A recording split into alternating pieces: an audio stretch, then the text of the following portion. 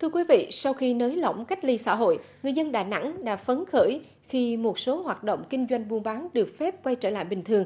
Phần lớn cũng đều rất ý thức trong việc thực hiện các quy định trong trạng thái mới, đặc biệt là mua bán mang đi. Tuy nhiên, những ngày gần đây đã xuất hiện tình trạng buôn bán tại chỗ bất chấp lệnh cấm. Ghi nhận của phóng viên thời sự trong ngày thứ năm chuyển trạng thái mới.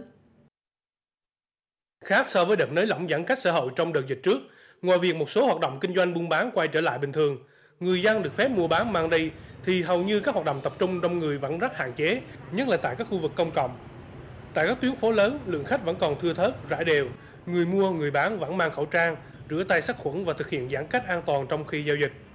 Thì à, khách họ tới họ cũng mang khẩu trang, chị cũng mang khẩu trang rồi bán mang về thôi. Còn à, vắng lắm.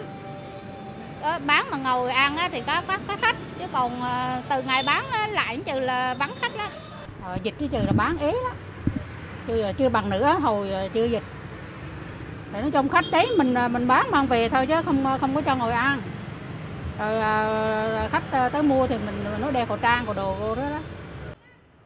Tuy vậy một số hàng quán lề đường vẫn cho khách ăn uống tại chỗ bất chấp những quy định của thành phố. Như tại quán ăn này trên đường ông Ích Khiêm chỉ buôn bán mang đi nhưng ngay bên cạnh là một quán ăn vỉa hè khác cho khách ăn uống ngay tại chỗ. Đã vậy còn rất gần nhau và không có bất cứ biện pháp giãn cách an toàn nào. Nói chung lại là cũng hôm nay vì dịch đâu đã hết đâu, còn vẫn còn chứ không phải là hết. Thành ra là mình phải giữ khoảng cách chứ không thôi là nếu nó lai lan ra nhiều thì cũng không tốt. Tình trạng này đã xuất hiện mấy ngày trở lại đây, nhất là tại các hàng quán ăn uống ven đường, nhưng không hiểu sao các lực lượng chức năng địa phương vẫn chưa có biện pháp nhắc nhở kịp thời.